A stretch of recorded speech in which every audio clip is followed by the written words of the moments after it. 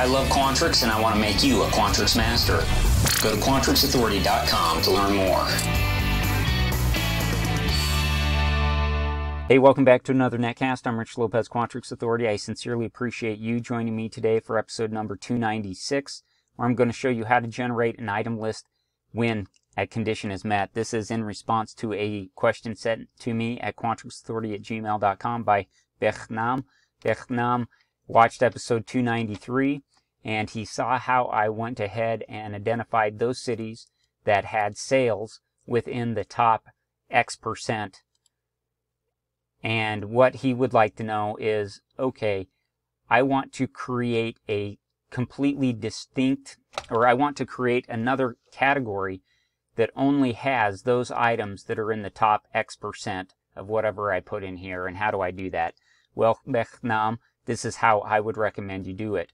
I would go ahead and simply add another item here into this matrix where I'm calculating whether or not something is in the top X percent.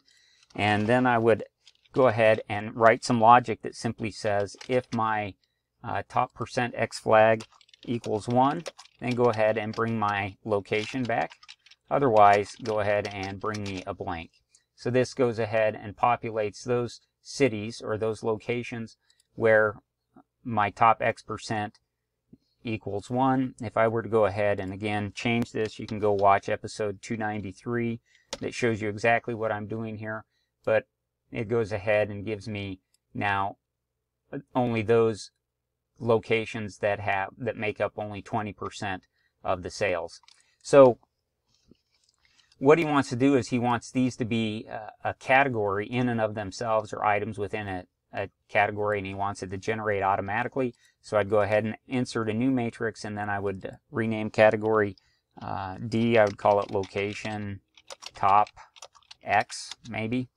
And then I would select uh, right click and select configure generate items and then go out here and simply make my range that I'm going to specify after I make it automatic go ahead and make it matrix 9 model elsewhere item if I go ahead and I click OK then what happens is only those items that are identified uh, based off of the logic that is calculated here show up over here in this location top X.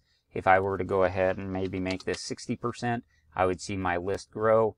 If I were again to maybe drop this down to say 5%, I would expect to see one item, which would be Kanash in that list. So that is how you would create kind of this dynamic category when a condition is met.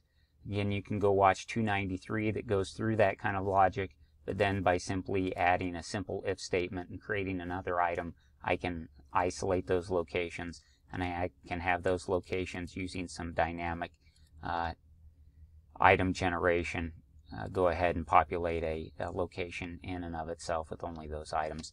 If you have any questions about any episode you've seen of Quantrix Authority and how I do it, or if you have any other question that you haven't seen a video on that you'd like to get some help on, I really do hope that you'll reach out to me at quantrixauthority at gmail.com because I absolutely love Quantrix and I really do want to make you a Quantrix master. I don't charge you to ask me a question. It's completely free. It's my gift to you and to the Quantrix community because I love Quantrix and I want to make you a Quantrix master. So please join me again for another episode of Quantrix Authority with Rich Lopez. Today's podcast is brought to you by QuantrixAuthority.com. I love Quantrix and I want to make you a Quantrix master.